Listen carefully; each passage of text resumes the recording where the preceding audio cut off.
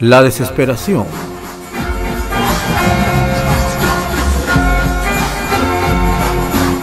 Parte 1. El encuentro.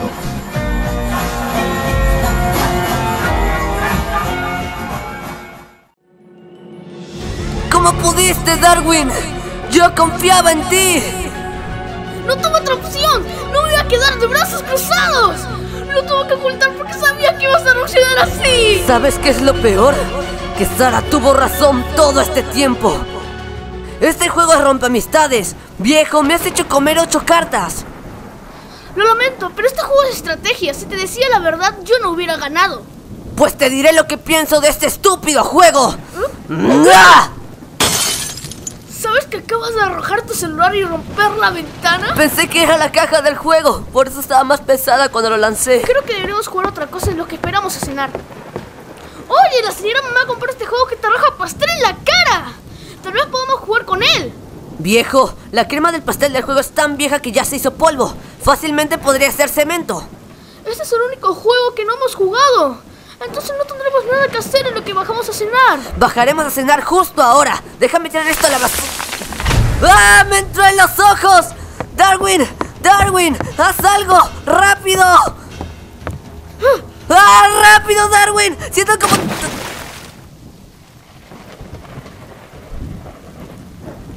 Viejo, dije que esa crema era tan vieja que podría ser cemento. Ahora sácame de aquí. Oh, sí, sí, ya voy. Probablemente esté ocupado. Te lo paso. Gumball, te habla Penny. Dice que te ha estado llamando y mandando mensajes directamente a tu celular, pero no le respondes. Lleva marcando 15 minutos. ¡Rayos! Se supone que le pasaría las notas y las tareas de cuando ella no fue a la escuela y yo rajé mi celular por la ventana. No te voy a comprar un celular nuevo. Debo comprar una tina nueva porque la que teníamos se echó a perder. ¿Qué le pasó? Papá se hizo un baño de fideos, se tapó la coladera y luego explotó. El secreto es dejar los fideos reposar en agua mineral y aderezarlo con salsa brava. Mamá, dame tu teléfono antes de que la conversación se extienda innecesariamente. Hola, Penny. Hola, Gumball. Espero no interrumpir, pero necesito las notas de tu cuaderno. Y si estoy segura de algo, es que conociéndote te olvidaste de eso. O tal vez mi celular se descompuso. Daré irá a tu casa y te dará mi cuaderno para que tome las notas. Oye, ¿por qué yo? Porque literalmente mis piernas están en cemento. O bueno, la crema vieja del juego. ¿Por qué no solo le envías un mensaje por la computadora? ¿Que no sería más fácil? Señor Ma, recuerda que hace tres días hubo una tormenta eléctrica. Pues estábamos jugando en el computador. Cuando de repente escuchamos un rayo. y- El rayo cayó en la computadora. Se comenzó a incendiar y después apagamos el fuego. Pero ya no prendía, se fundió.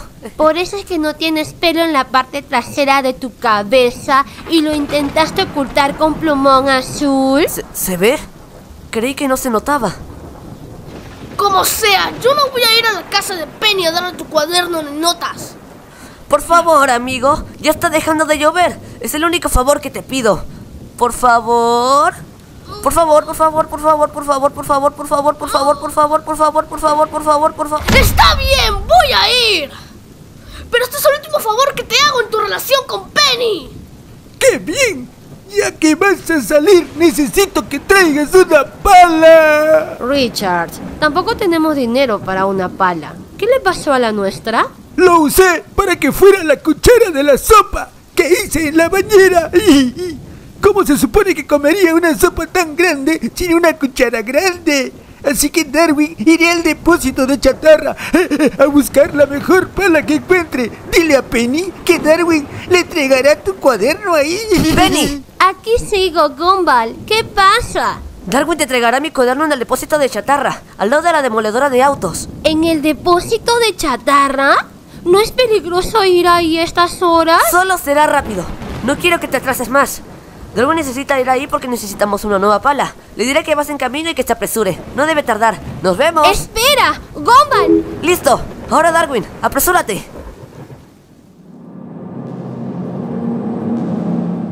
Hola Darwin, veo que Gumball sí te envió Una disculpa por eso. Supongo que debes estar molesto. No vine aquí para platicar contigo, Penny. Solo vine a darte los apuntes de Gumball y por la pala del señor papá. Darwin, aún no te agrada que yo sea la novia de Gumball, ¿cierto? ¡Claro que no! ¡Mira, estoy sonriendo! Mm, no me convence.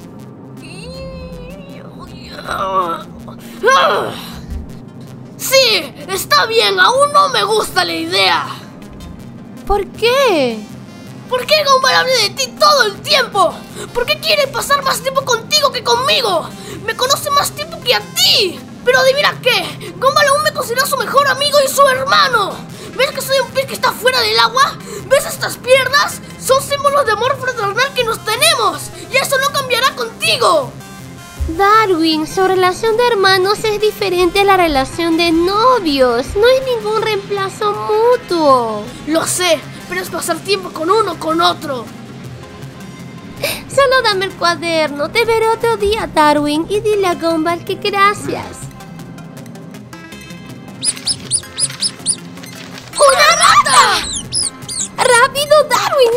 Por el lado derecho, yo por el izquierdo. Necesito esos trabajos hoy. ¡Iré por donde yo quiera! ¿Dónde estará esa rata? ¡No! ¡Espera! Ven aquí, amiguita. Y dame ese.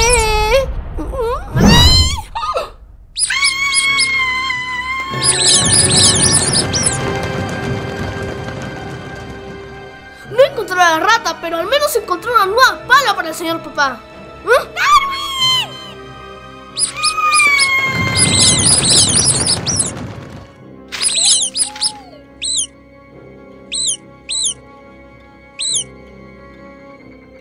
¡Allí está la rata que se robó el cuaderno!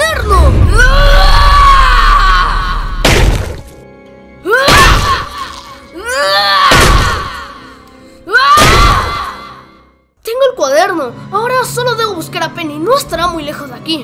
¡Ah! ¡Penny! ¿La, la maté?